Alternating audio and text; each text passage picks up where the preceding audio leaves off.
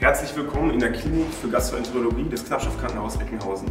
Mein Name ist Philipp Dahl, ich bin Gesundheits- und Krankenpfleger und würde Sie heute gerne auf einen virtuellen Rundgang durch unsere Abteilung mitnehmen.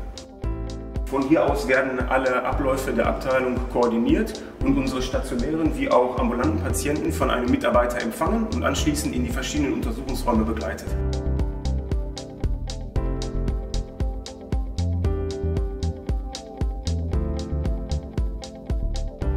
Unsere Untersuchungsräume sind vom Aufbau alle gleich, werden aber verschiedenen Untersuchungsarten zugeordnet. Hier in unserem ersten Untersuchungsraum finden Darmspiegelungen statt, die eine besondere Bedeutung für die Darmkrebsvorsorge haben. Ähm, wir führen im Jahr ca. 1500 Darmspiegelungen durch und sind mit unserer Technik auf dem neuesten Stand.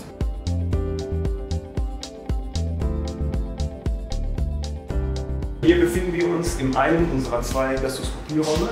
Neben Magenspiegelung führen wir auch Bronchoskopien, Endosonographie und Anlage verschiedener Ernährungssonden durch.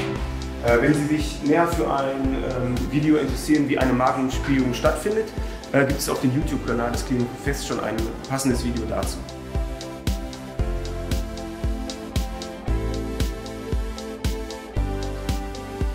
Ähm, hier befinden wir uns in unserem RCP-Raum.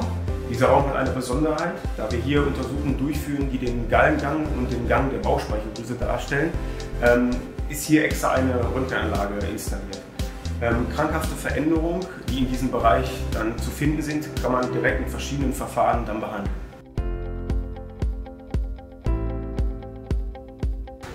Wenn die Untersuchungen in unseren Untersuchungsräumen fertig sind, werden die Endoskope hier in unseren Aufbereitungsraum gebracht und werden dort einmal per Hand vorgereinigt und anschließend in vollautomatischen Maschinen äh, gereinigt und desinfiziert.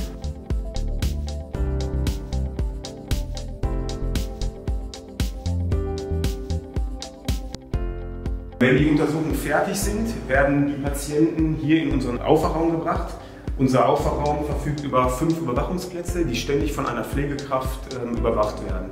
Wenn die Patienten dann nach einer Zeit wieder richtig wach sind und ansprechbar sind, findet ein ärztliches Entlassungsgespräch statt.